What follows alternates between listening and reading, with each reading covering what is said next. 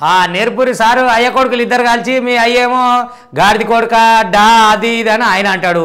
ఈయన బిడ్డ గడ్డ అని గడపారలు ఈయన వేస్తున్నాడు మరి తెలంగాణకి ఏ భాష నేర్పుదాం అనుకుంటుర్రు? ఎట్లా అనుకుంటురో తండ్రి కొడుకులు కానీ గలీజ్ గలీజ్ మాటలు నోటికొచ్చినట్టు మాట్లాడుతురు మాట్లాడుతుర్రు. ఏం చక్కదనం ప్రజాప్రతినిధులేనా?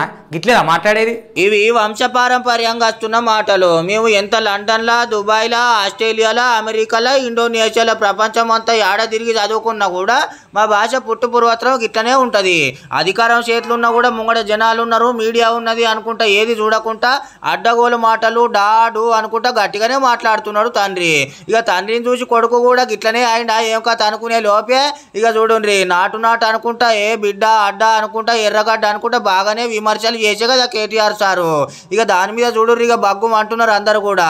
ఏం చేద్దాం అనుకుంటుండు? ఇట్లా మాట్లాడి ఆహా ఏం చేద్దాం అనుకుంటుండు? ఏం సమాధానం ఇవ్వదలుచుకున్నాడు జనానికానికి? అని అనుకుంటా అంటున్నారు చూడుర్రి. మరి వాజివే గట్లా మాట్లాడతారా? ఇక తండ్రి మీదనే ఇంతగానో మాడిపోసుకుంటున్నాం కసుడు మాటలు ఆడితే అనుకుంటా వస్తే ఇక కొడుకు కూడా సవ్ నంబర్ తయారై కూర్చుంటున్నాడు అంటున్నారు. ఇక ఇంతకు ట్రిపుల్ ఆర్ ఎవరు అంటుండు? ట్రిపుల్ ఆర్ ఎవరు అసలు? కేంద్రం మీద టీఆర్ఎస్ దూకుడు ఏంటిది ఇదంతా?